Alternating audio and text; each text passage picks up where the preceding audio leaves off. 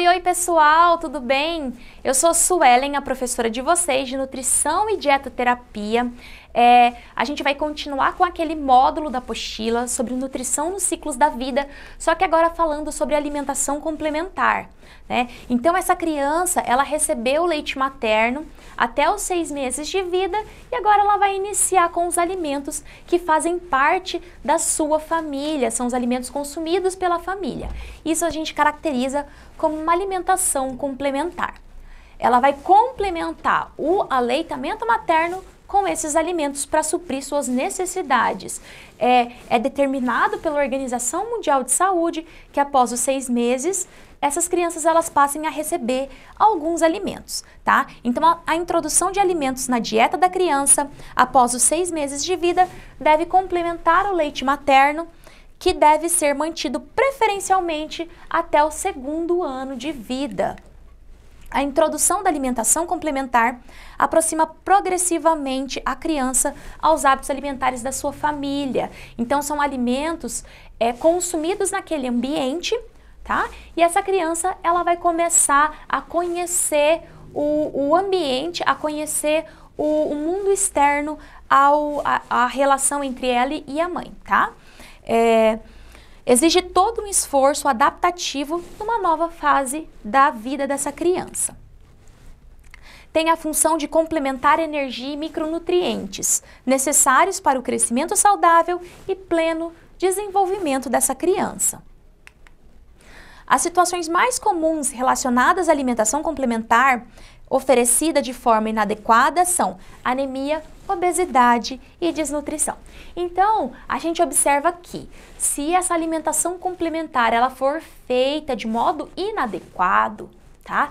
Então, com oferta de alimentos é, que não satisfazem as necessidades dessa criança, essa criança ela pode estar desenvolvendo uma desnutrição, uma anemia, ou se ela for feita com alimentos de uma qualidade que não é interessante, que são alimentos processados e ultraprocessados, essa criança ela pode estar desenvolvendo uma obesidade, tá? Então, o meio né? Então, o meio é, é, o local onde essa criança vive, ele vai estar influenciando no perfil de saúde dessa criança. E aí a gente já começa a ver algumas doenças é, acontecendo tá?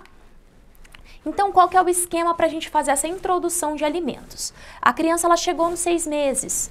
É, o aleitamento materno ela tem que ser exclusivo até esse período, até os seis meses. A criança completou esses seis meses, já passa a ser introduzida uma papa de fruta e uma papa salgada. Quando se fala em papa salgada, não quer dizer que a, a papinha da criança tem que ter sal. Não há necessidade nenhuma de colocar sal. Só que os alimentos, eles são alimentos de uma grande refeição, como um arroz, um feijão, uma sopinha de legumes, tá? Não há necessidade de acrescentar sal. E a criança, ela completou é, sete meses. Aí a gente passa para uma segunda papa salgada, essa papa, papa da comida da família, tá?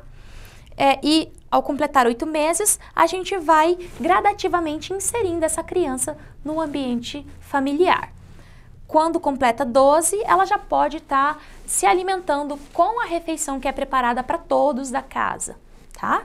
E aí a gente vai começar a ver o reflexo da alimentação no perfil de saúde dessa criança, tá? Uma das formas da gente estar tá avaliando também esse desenvolvimento da criança é através do perímetro cefálico, é, da circunferência é, torácica, tá? Do perímetro torácico e do perímetro a, abdominal. Bom, pessoal, espero que vocês tenham gostado do conteúdo apresentado aqui. A gente se vê na próxima aula. Um grande abraço e até mais.